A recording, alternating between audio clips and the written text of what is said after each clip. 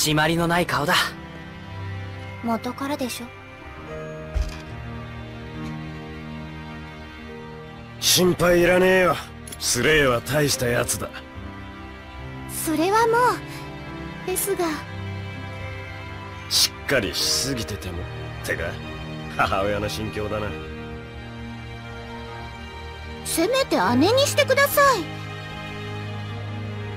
年離れてますけど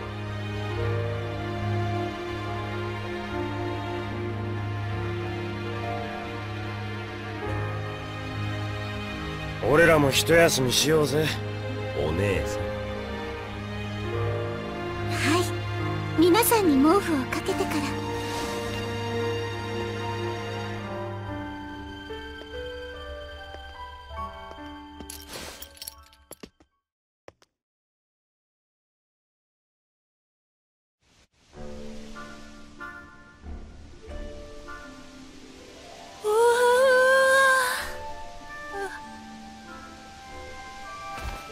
おはよう。でもないだろう。3日も寝っぱなしだったのに。嘘。通りでお腹空きすぎと思っとりあえず食事にしよスレイさんもさっき起きたところですし。う食べ終わったらラストンベルに行ってみよう。あの後どうなったか見届けなきゃ。た仕事人間ね。私が言うのもあれだけど気にならない？そりゃあ。なる。また戦争始める気なら殺しとかなきゃだし。置いてった方がいいんじゃない？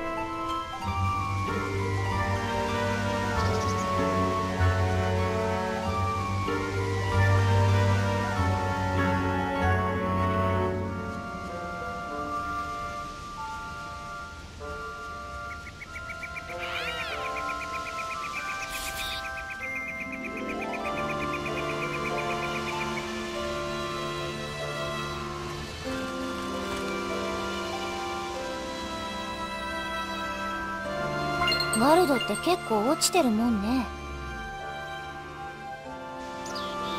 おいスレイアリーシャとルーカスだ。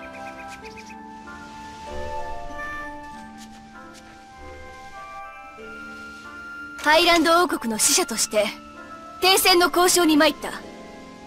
ローランス帝国軍代表と面会をお願いしたい。お通ししたいのは山々ですが公式には未だハイランドと交戦中で。国家レベルの判断です。一ペーソスの独断ではいかんとも。アリーシャルーカス！スレイやっぱり生きてやがったな。ローランスと話しに？ああ停戦の機会は今しかないと思ってなよくやるねハイランドの姫がろくに護衛も釣れずに。最高の護衛がついてるっての。この程度の危険で争いが止まるなら安いものだ。だが人の立場とは難しいものでな。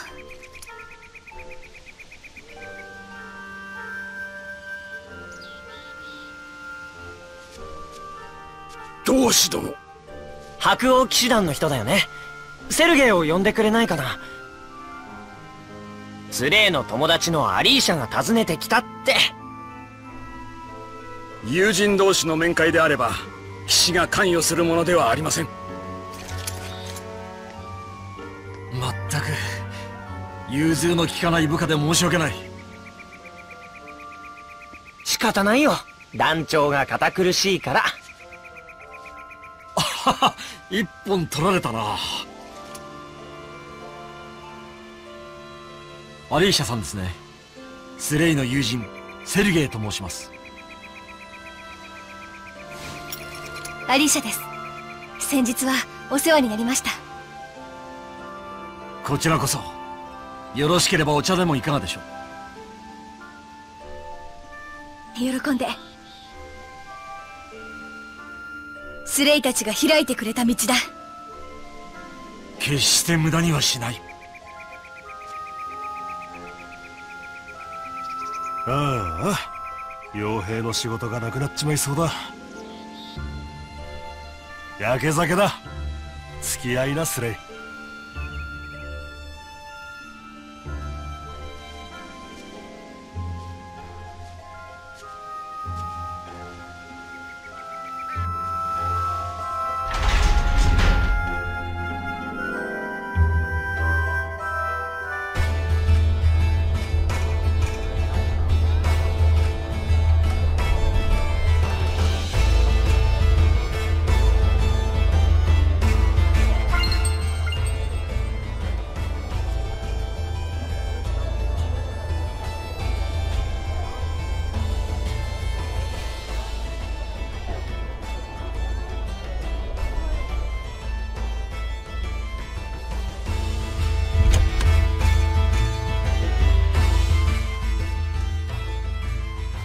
では続きは後日。はい。よろしくお願いします。ありゃもう終わったの？初回はなペンドラゴの城に招待されたよ。アリーシャ一人で。その代わりローランス皇帝陛下が直々に交渉してくださるそうだ。末席の王女の私と対等に共にドラゴンと戦った戦友だ。ローランスは礼儀を心得ているよ。そっか。あとは任せてよさそうだね。ドラゴン出て地固まるだな。うまいこと言われてしまいました。どういう競争意識？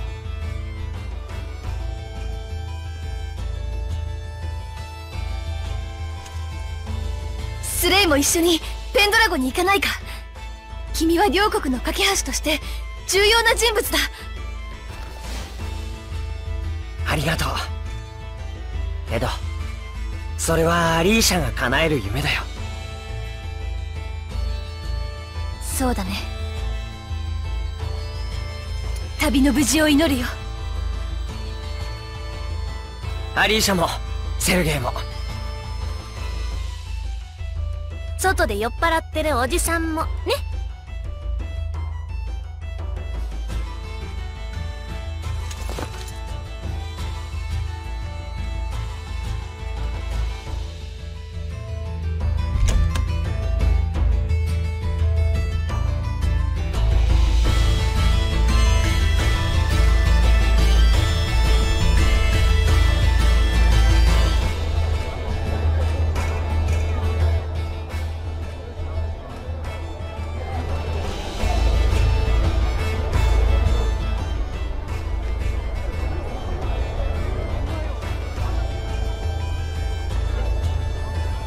なんとか和平決まりそうだってよ。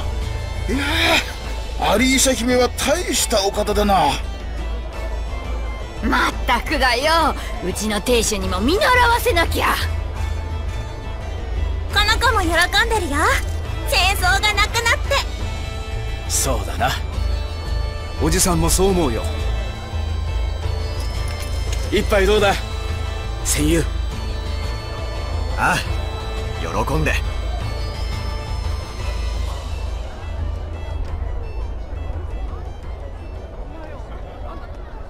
日にしよう。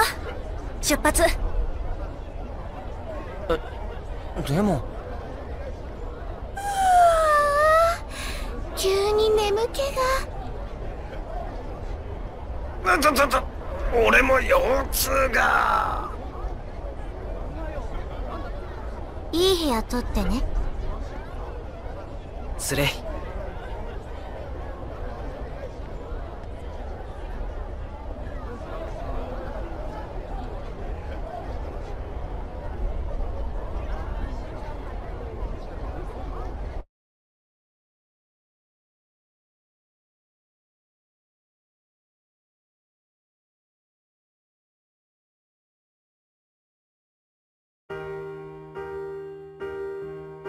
ありがとうライラ付き合ってくれて。いえいえ私も街の様子を見たいと思っていましたから。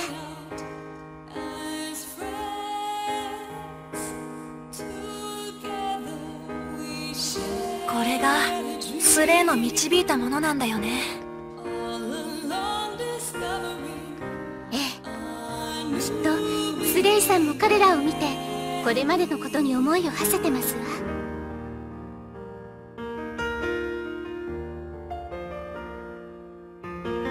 エドナさんやザビーダさんも同志との旅という経験をして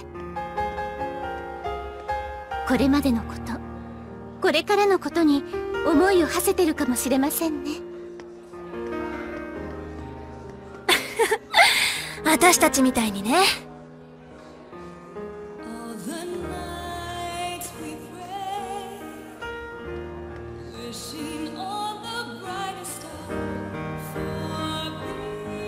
明日は吹雪か？エドナちゃんが俺様に会いに来るなんてね。答えてあなたどうしてヒョーマを殺してたの？なんでそんなこと聞くんだ？しかも。彼らを救うため？スレイみたいに救うためにはやらなきゃいけないってこと。覚悟したの？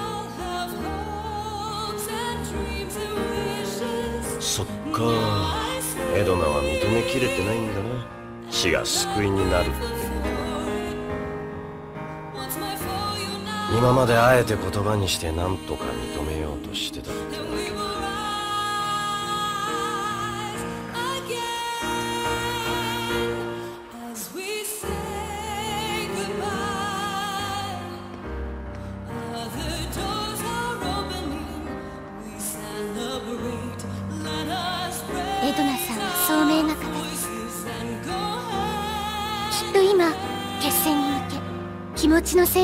ろうとしているでしょう。ね私たちの中で最もいろんなものを見聞きしているザビーダさんと話をしてるんじゃないでしょうか。よく見てるんだな。学校の先生みたい。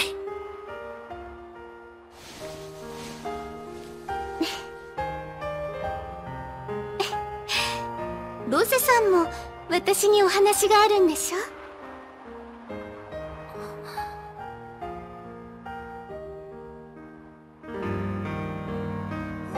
ラゴンが現れた時スレイはすぐ答えを見つけたよね。この戦場でこれ以上殺させたり殺されたりしてほしくないって。ええ。そしてすぐにそのためになさねばならないことも決めましたわね。志を持った時間の流れを超えてしまったかのように思わされることがありますわ。すごいよね。すごい星空だな。ああ誰が言ったんだっけ星の数だけ思いがあるって。うまいこと言うよな。その思いそれぞれが輝いていると比喩したものだな。よっぽどのロマンチストだったんだろう。けれどロゼさんはそれに危うさを感じてるのですね。少しでも気を抜くとまた迷ってしまいそうで努めて気を張っているんじゃない。気づいてないのはスレイ本人だけじゃない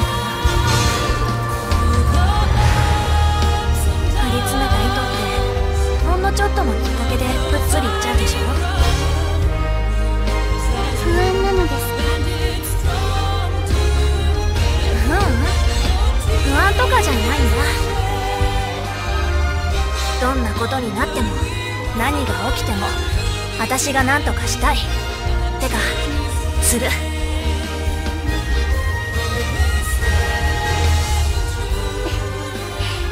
それがルズさんの答えなんですのね。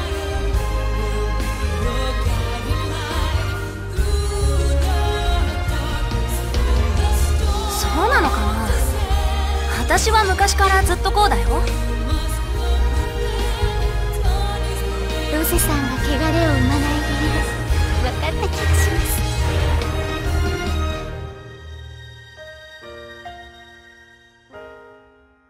だからみんな安心してバーンとやっちゃってほしいんだ。けど後のことは任せてなんて言うつもりはないよ私も最後まできっちり付き合うからさ。ロゼさん？そのお話は皆さんに聞いていただいた方が良いのではないですか？そうすればきっとエドナさんもザビーダさんも勇気づけられると思いますわ。あの二人に改まって私がついてる的なこと言うのってなんか不思議な感じ。確かに。ったく女の子は複雑だな。だからこそそそられるんだけれども。まったく。バカな。ああバカさ。俺は見つけた一つの方法を信じることしかできねえやつだからな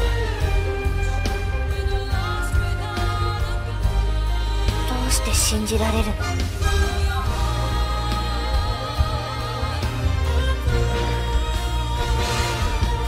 俺はダチや同族の誇りを守ってやりたいだけさ。誰も望んで氷魔になったわけじゃない。けどよ氷魔になるってのはどういうことかわかるだろう。だから終わらせてやるのさ。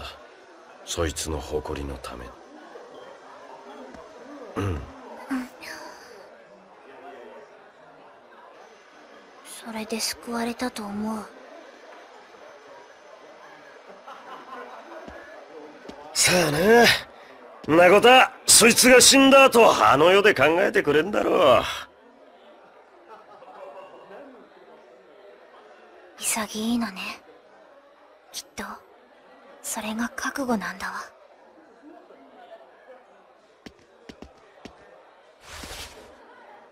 惚れそう？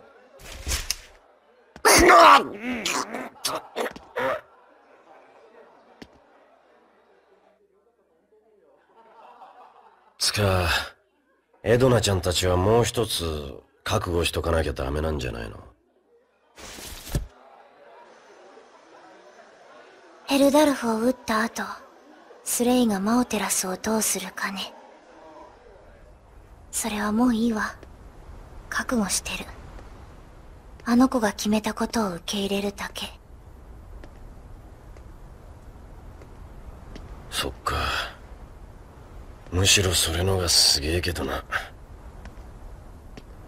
ダチが苦しむのを黙って受け入れる。俺はできるかどうかわかんねえわ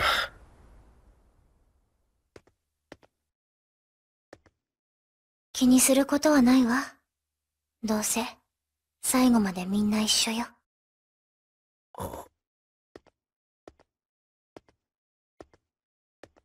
んじゃあそん時俺様がブルってたら優しく抱きしめてくれ！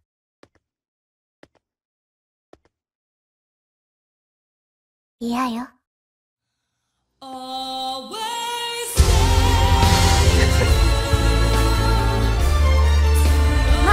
あの二人でも私が何か言ったぐらいで元気出るんなら一丁話してやるか。言葉をかけてくれるそれだけで十分なのです。それが仲間ですわ。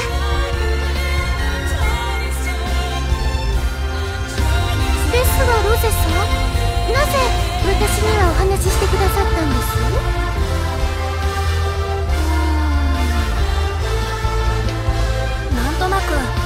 ライラも私と同じことを考えてるんじゃないかなって思って。抱え込んだままにしなくていいよって言いたかったんだ。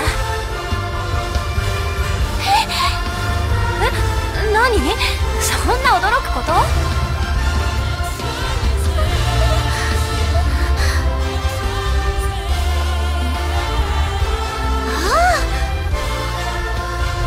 ローゼさんと私ってているんですのね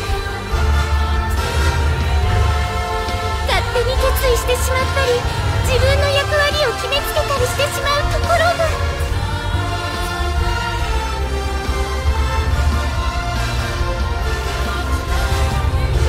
ああそうかも。だから同じこと考えてんじゃないかって気がしたのか。なるほどな。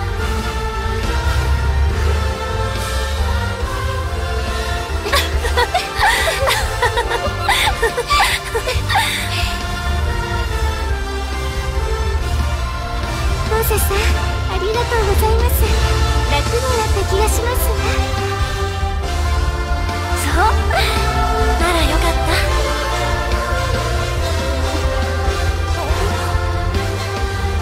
この出会いに感謝しておりますわローゼさん。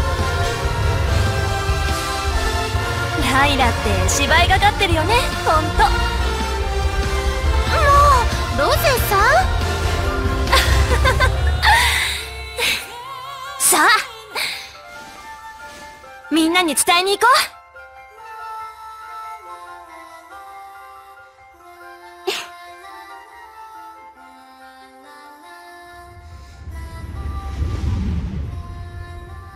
う。俺、旅して分かったよ。自分からは見えてない星もあるのに、見えないから輝いてないって思われることもある。実際、井槌から見上げるだけじゃ見えない星もたくさんあったな。誰だって気づきさえすれば、その輝きがわかると思うんだ。アリーシャだって、みんなの声を聞いたから初めて本当の意味で分かってくれたんだから。あの時の君は傑作だった。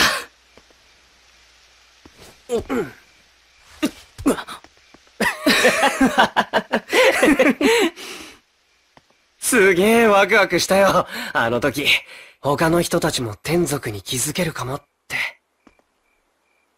だがあれだって、君が感覚を遮断しなければ。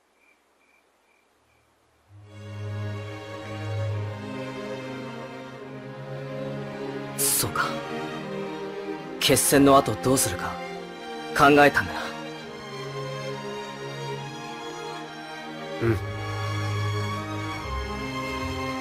俺がマオテラスを宿して全ての感覚を閉じれば、グリーンウッド全域に力を委ねられるんじゃないか。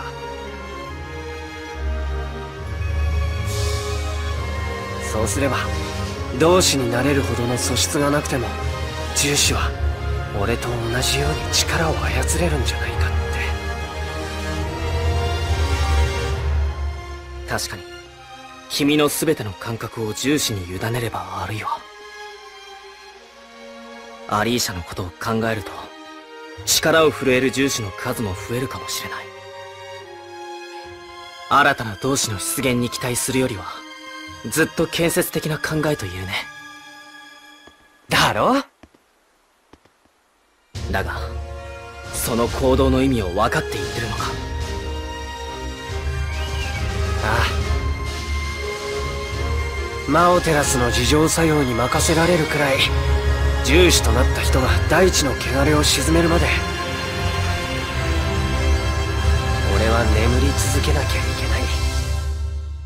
マオテラスと繋がり、時に取り残され、何年、いや、何百年待つのか。そもそも、天族を知覚できる人が現れても、天族と共に生きる道を選ぶかどうかはわからないぞ。信じるさ。夢はどうなるんだ世界中の遺跡を探検するんだろう。俺が忘れない限り終わらない。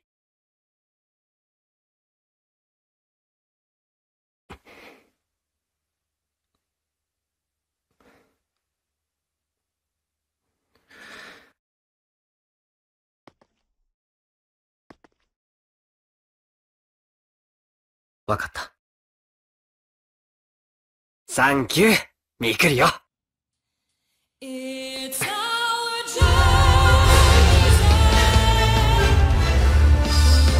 まったくほんとバカね。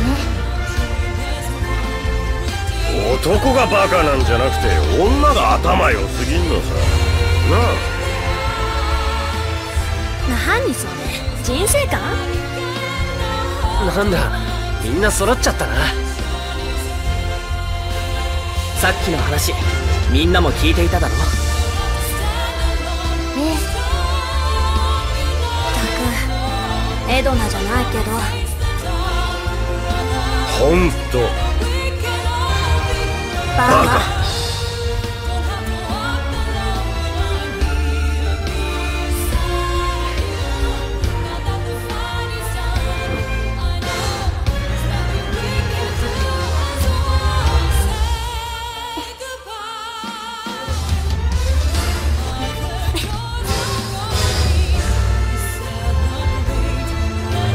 しようか。朝まで待たないの？アリーシャさんたちに挨拶もなしに？この星空の下で出発したいんだ。そうすれば、星空を見るたびに、今日を思い出せそうな気がするから。今日の君はやけにロマンチストだな。そうだな。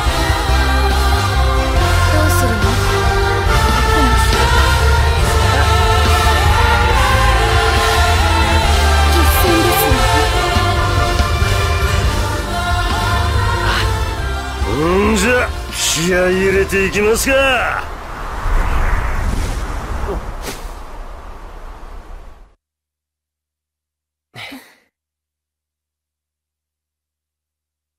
行こう。あ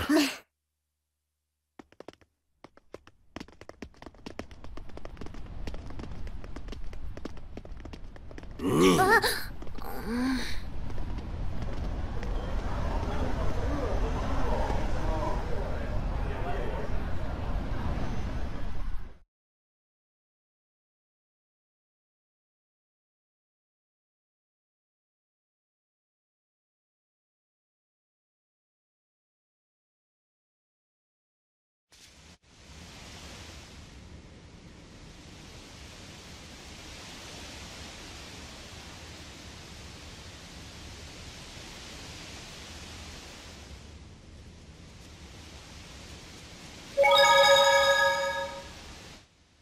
心配ないよな。アリーシャたちは。大丈夫セルゲイもルーカスもいる。目的地はイズシだな。ああ。マオテラスがいるカムランへ続く道があるはずだ。なんていうじいじには。話さないで行こう。スレイ必要ないだろまた会えるんだから。そうだな。わかった。